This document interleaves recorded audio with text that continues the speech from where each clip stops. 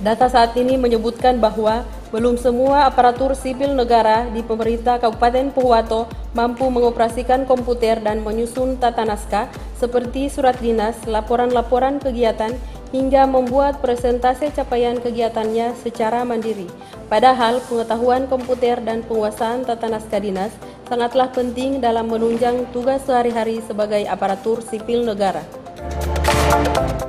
Menyadari hal ini, pemerintah Kabupaten Pohuwato melalui Badan Kepegawaian Pendidikan dan Pelatihan sejak tahun 2011 hingga saat ini terus berkomitmen melatih setiap pegawai negeri sipil di lingkungan pemerintah Kabupaten Pohuwato melalui agenda ujian dinas tingkat 1 dan ujian penyesuaian kenaikan pangkat PNS seperti yang dilaksanakan pada hari ini.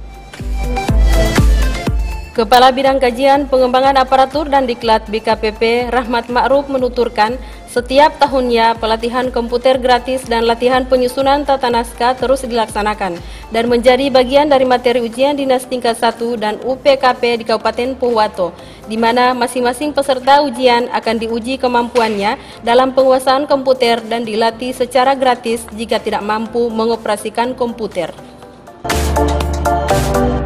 Menurutnya, hal ini telah menjadi bagian dari misi yang pertama BKPP, mewujudkan kualitas dan daya saing aparatur demi terwujudnya profesionalitas aparatur dan manajemen kepegawaian berbasis teknologi informasi 2021.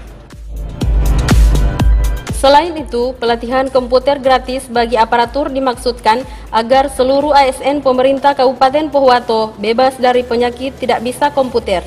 Dengan kata lain, kemampuan menguasai komputer, menguasai kemajuan teknologi, informasi, dan komunikasi, khususnya aplikasi perkantoran modern seperti Microsoft Word, Excel, dan PowerPoint menjadi harga mati bagi PNS.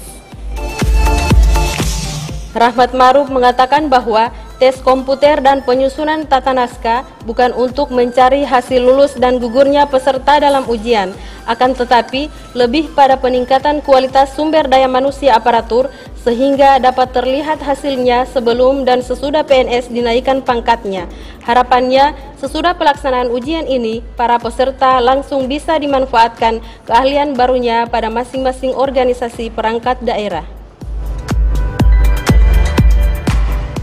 Alhamdulillah pada kesempatan ini kita masuk pada ujian pemahaman dan peningkatan keterampilan dalam penguasaan komputer oleh peserta ujian dinas tingkat 1 dan pensiun kenaikan pangkat. Saya sudah mengikuti ujian ini, para aparatur yang mengikuti ujian terlihat uh, peningkatan kapasitas pada uh, sisi keterampilan penguasaan komputer baik Word, Excel dan PowerPoint. Harapannya adalah sesudah pelaksanaan ujian ini para peserta langsung bisa dimanfaatkan skillnya pada masing-masing uh, organisasi perangkat daerah. Ujian ini bukan pada tahapan lulus gugur, akan tetapi lebih pada mereka harus ditingkatkan kualitasnya sehingga bisa terlihat sebelum mereka dinaikkan pangkat kemudian dinaikkan pangkat dengan keterampilan yang lebih memadai terhadap penguasaan komputer.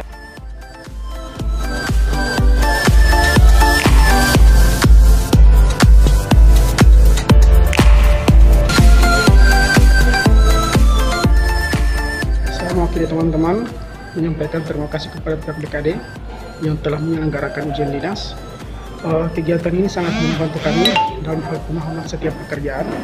Kemudian uh, dalam hal kenaikan pangkat, kami pun sangat berharap uh, adanya perubahan-perubahan di setiap individu PNS sendiri. Demikian.